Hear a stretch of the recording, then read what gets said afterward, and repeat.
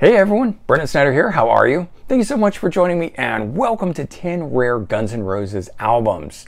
So the band aren't really known for their volume of work with only six studio albums and one live album under their belt. Now this is over 37 years, getting their start back in 1986 with the Live Like a Suicide EP. Um, for me at least, a die-hard fans, you know, can often leave us wanting more. And with the new release that they just did, the brand new song Perhaps just dropped on Friday, August 18th of 2023. If you haven't heard it, check it out. I happen to like it. I know some people don't, but I think it's a pretty good song.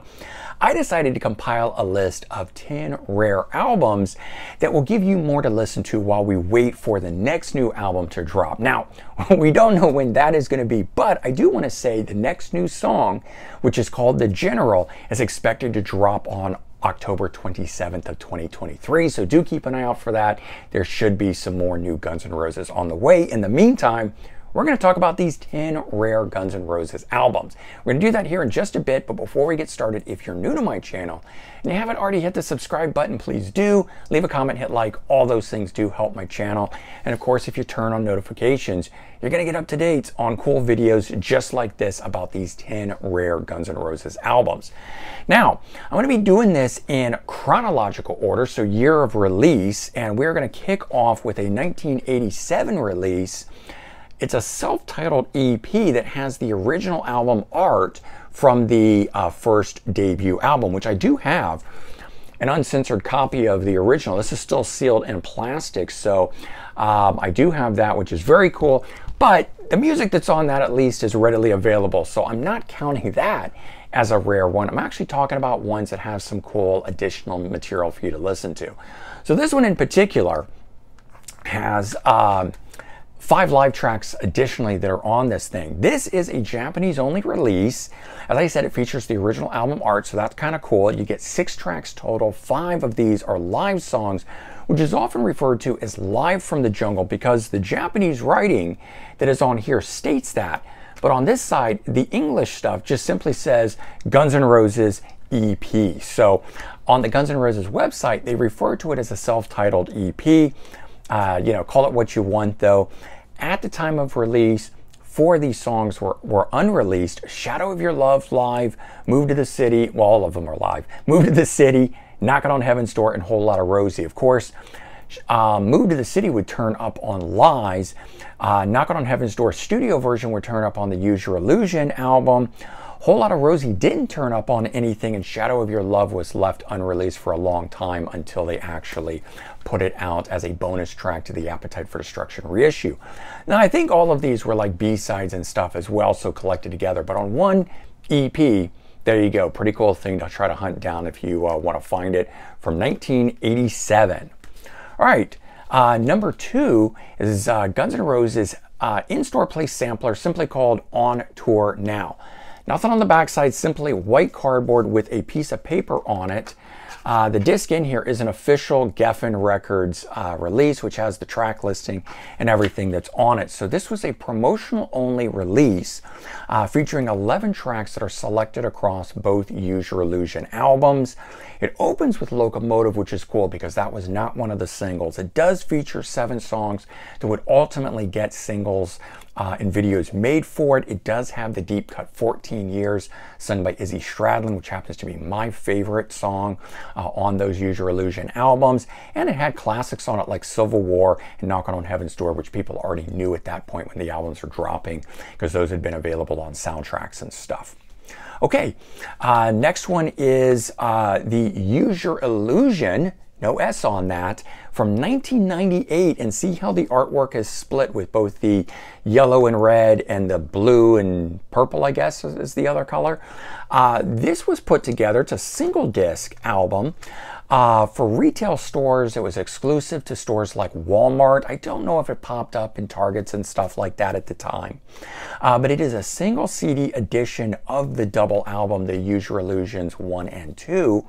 Uh, it did remove any songs that had explicit lyrics, featuring a total of 12 tracks on here but it doesn't have all of the single releases like one might expect because it couldn't have lead single You Could Be Mine because there was explicit language in it, but it does have a lot of them. So it's just a nice uh, sort of greatest hits sampler of the two albums, uh, removing some of that extraneous filler stuff on it. And as a cool listen, uh, as an alternate to both of these, uh, this one and the last one were kind of cool alternates to the Use Your Illusion albums. Okay, next one is an unreleased album. Uh, it's number four uh, that I'm talking about here. That's the back side because it didn't come with art. Duff McKagan, Beautiful Disease from 1999. It's an unreleased solo album, his second, that was shelved at the time by Geffen Records. So this is an official release.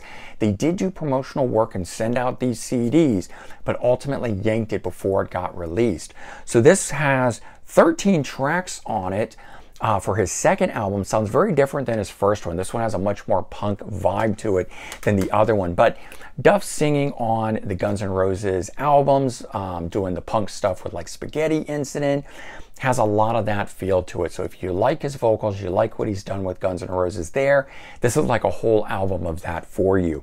Um, I will say this, it's very hard to come by. Anytime I've looked it up online, it goes for over a $1,000 usually. Um, I picked mine up, I think, for less than 20 bucks originally years ago, uh, but things now have just gone through the roof, unfortunately. Okay, fifth one to talk about. Izzy Stradlin, Like a Dog. This is an internet only album that he released.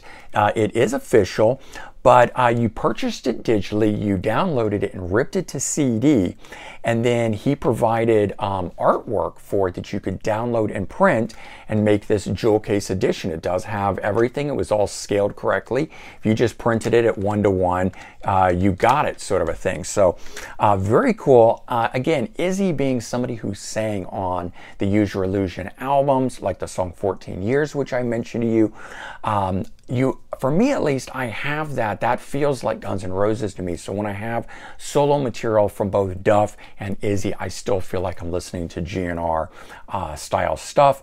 The cool thing is um, duff mckagan's been backing up izzy for a long time on his solo works and, and duff mckagan's on here. So we got two gnr guys uh, on that release. Okay the next one guns n' roses whenever it's done songs from the chinese democracy sessions 10 tracks on this thing. This is a bootleg. Uh, it was released in 2006, so two full years before Chinese Democracy would drop. As I said, it's a bootleg album, so not official, but the sound quality on it is fantastic, at least for the first uh, bulk of the tracks. I think the last couple on here um, are a little rough, but uh, most of these are like full on studio version. Uh, as I said, 10 tracks, eight of the songs on here would turn up on Chinese Democracy. Two of them did not. Oh My God, which was on the End of Days soundtrack, is on this, and that's cool to get it because I didn't want to buy that soundtrack just to have it. And Silkworms is on here. Silkworms would be the song that would later be turned into the song Absurd, released as a new song in 2021, but it never got a release from Chinese Democracy though those two are on the back side here. And you know, for a bootleg, this thing is done uh, very well, in my opinion. I'm not a big fan of bootlegs unless one, the sound quality is great and the artwork looks fantastic. And in that case, that was. Now, I purchased that at a local record store here. I have no idea where you would find that today. All right, next one Guns N' Roses Appetite for Democracy live at the Hard Rock Casino from 2014. It is a double live album taken from the DVD concert film of the same name recorded at La- or in Las Vegas at the Joint during their residency in 2012. This is 2014 that it got its release. The CD was part of a rare limited edition package that came out that had the DVD, a t shirt, and then this double CD in it. And it features 25 tracks uh, recorded uh, with the then lineup, which has um, Ron Thal on it, Bumblefoot, and also um, having. Uh, uh DJ Ashba, sorry. Had to think of his name for a second there. There's been so many members in Guns N' Roses, sometimes can't keep them all straight. Tommy Stinson. So it was that lineup. It's before the reunion, is sort of my point. And it's a nice document to have of a, the different era lineup of the band before the reunion happened.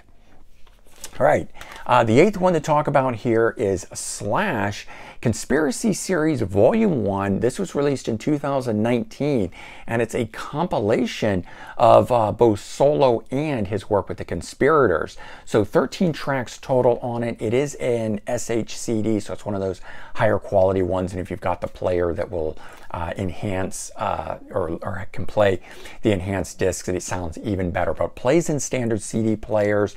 Uh, nothing new or unreleased as part of this, but it is just a nice collection of Slash's uh, later day era solo and work with the conspirators. So it's just a cool uh, thing to listen to as well. Something again a little different than just throwing on the albums that you might already own.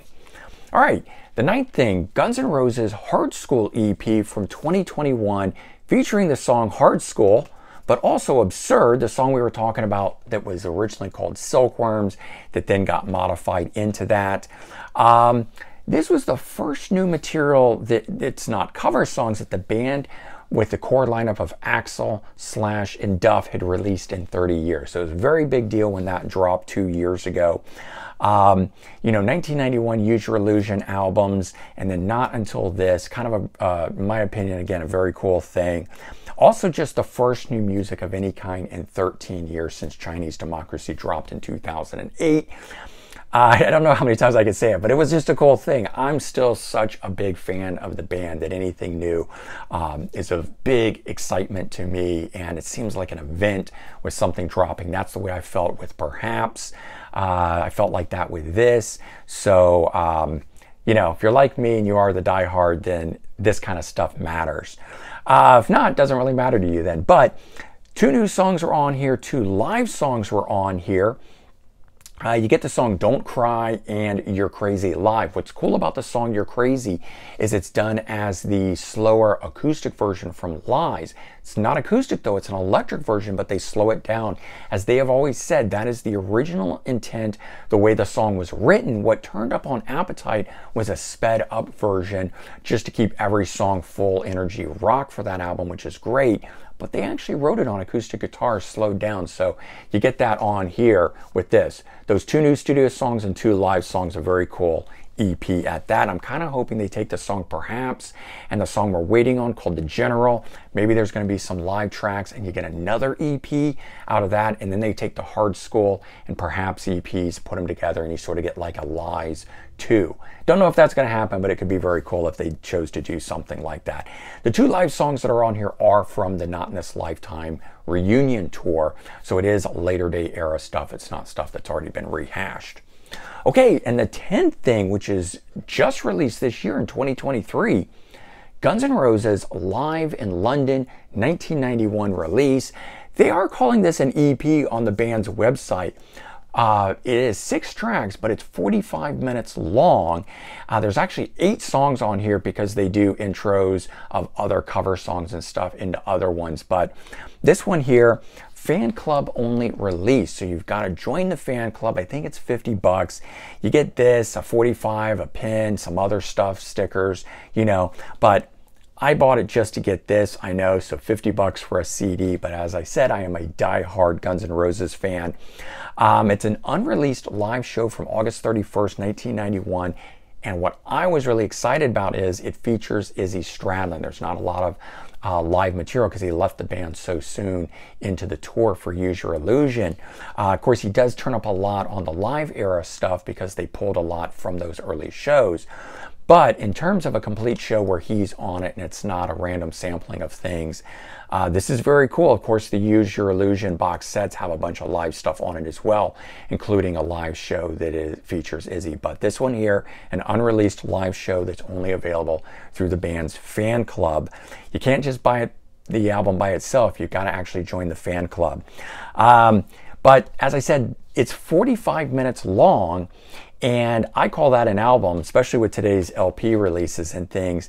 Lies is only 33 minutes and it gets called an album. So even though they're calling it an EP, I think it's an album, but it's nice. It's a good length. And there you go. That is uh, 10 rare Guns N' Roses albums for you to dig into. If you're like me, you need more material because with only six studio albums and one live album officially being released, uh, there is all this other stuff that's out there that's great from the band, and you can have a nice big Guns N' Roses collection uh, that goes beyond just the stuff that everybody knows.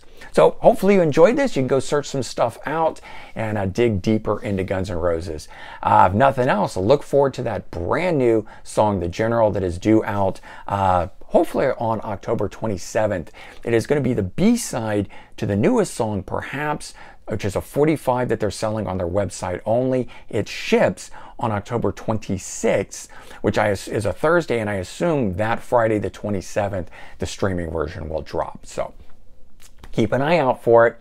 Uh, take care, everyone. Have a good one, and I'll talk to you soon. Bye bye.